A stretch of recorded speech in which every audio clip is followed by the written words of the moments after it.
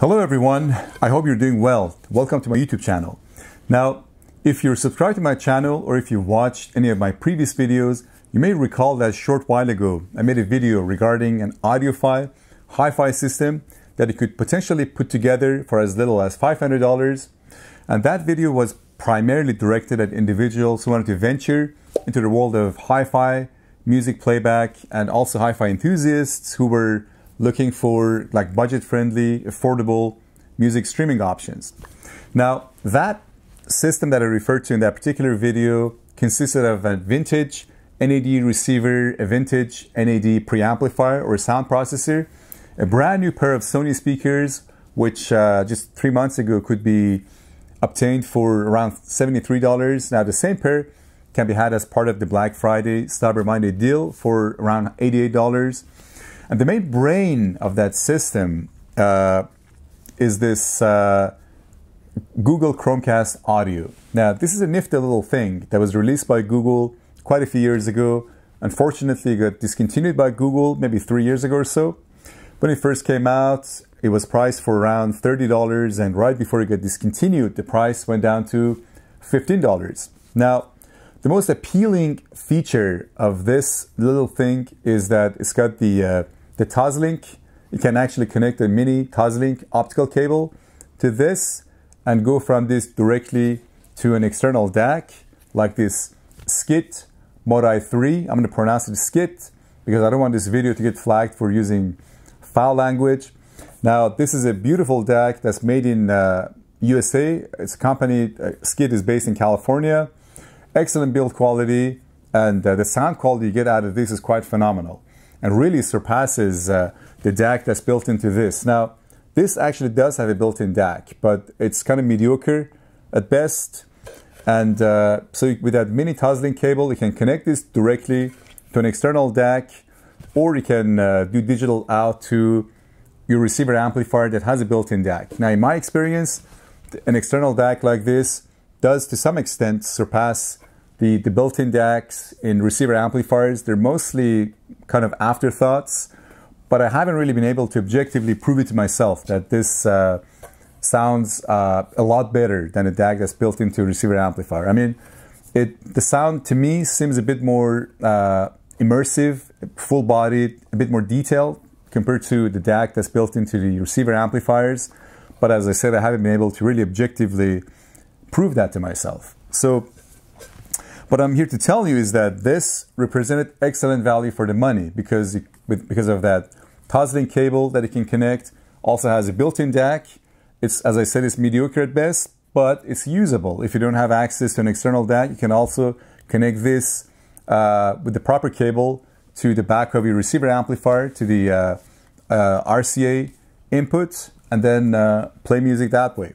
This gives you excellent software experience. You can cast pretty much from any streaming service, music streaming service.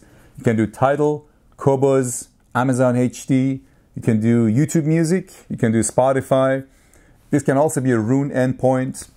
Now, the the downside of this it doesn't play gaplessly, and uh, but it's not something that I'm really annoyed by. I'm not really uh, annoyed by that at all. But some people actually uh, take issues with that, and uh, if you want to do gaplessly across all platforms, then you probably want to look elsewhere. Now, there's some other streaming options out there, but that what those are going to cost you a lot of money. Uh, I noticed that there's the Blue Sound Note 2i. For that, I think uh, you'll be paying close to $600. And there are other options that cost actually uh, quite a bit more than, uh, than, than this.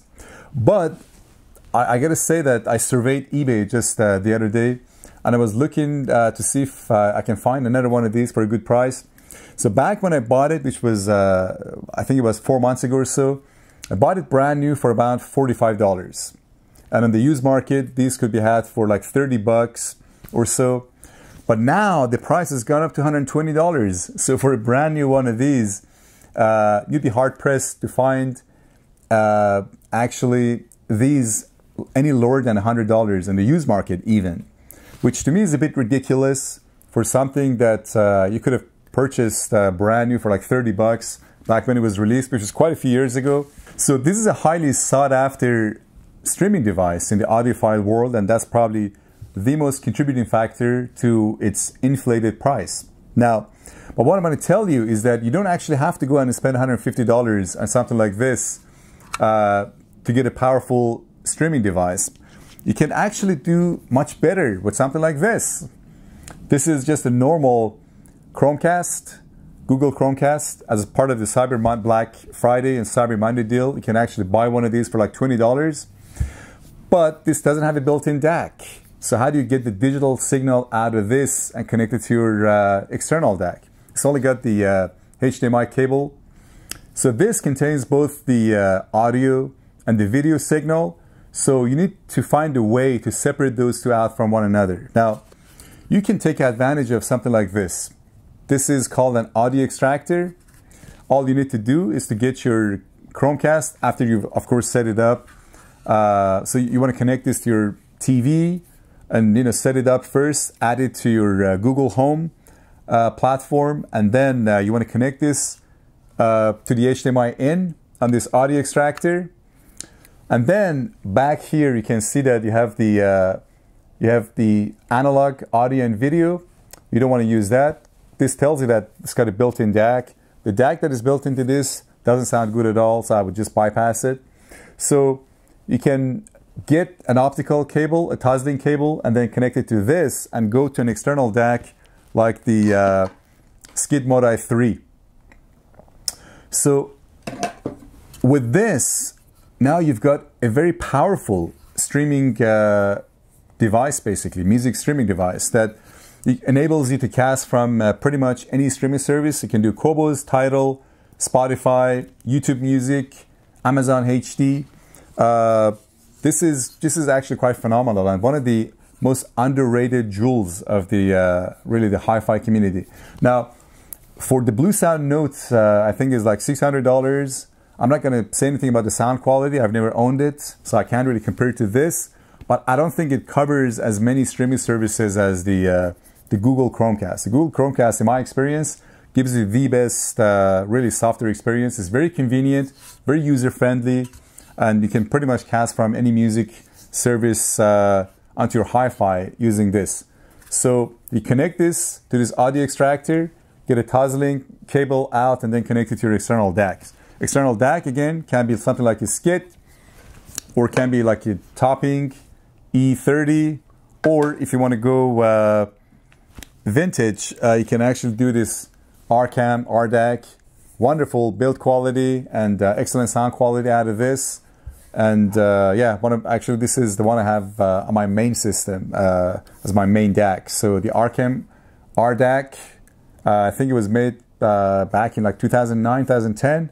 Still great value for the money. So in the next few minutes, I'm going to show you how to connect all of these together and how to uh, really convert just a normal Google Chromecast into a powerful music streaming device. Now, this whole thing, I think collectively can rival systems that may cost maybe three, four times as much as this. I've tried other streaming devices. I didn't like them very much.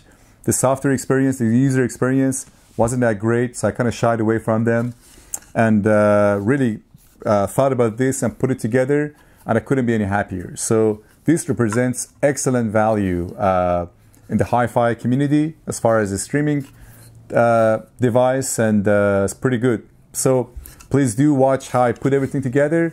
And if you haven't done so already, please also do subscribe to the channel. I have more interesting and more informative uh, videos to come in the future. Thank you very much for watching.